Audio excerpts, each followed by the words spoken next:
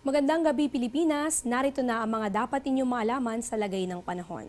Bagamat mababa ang tsansa na ma-develop sa pagiging ganap na bagyo, paghandaan pa rin ang mga pag-ulan na patuloy na dadalhin itong low pressure area o nung LPA na huling namataan kaninang alas 3 ng hapon sa layang 335 kilometers west-northwest ng Puerto Princesa City sa Palawan. Ito'y patuloy na magdadala ng maulap na kalangitan na may mga kalat-kalat na pag-ulan at pagkidlat pagkulog dito sa nasabing probinsya. Maging maingat dahil ang malalakas na mga pag-ulan ay posibleng magdulot ng pagbaha at pagguho ng lupa.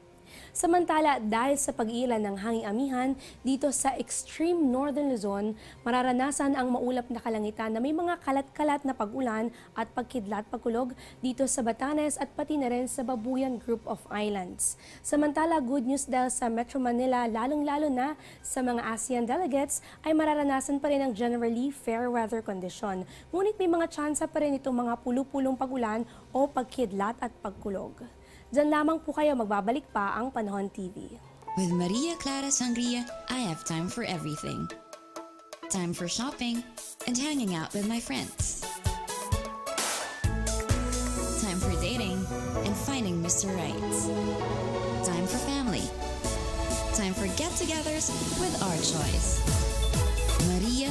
Sangria, the refreshingly citrusy and sweet red sangria. My favorite drink every time. Maria Clara Sangria. Ang Luna ay ang Latin name ng moon at alam niyo bang masisilayan ngayong gabi ang waning crescent moon? Kilala rin ito bilang old moon. Ano nga bang ibig sabihin nito? During this phase, imagine na ang tila ba round cake ay hiniwa ng less than half. Dahil ang bahagi ng buwan na nililiwanagan ng araw ay unti-unting nababawasan, ito ay itinuturing na waning.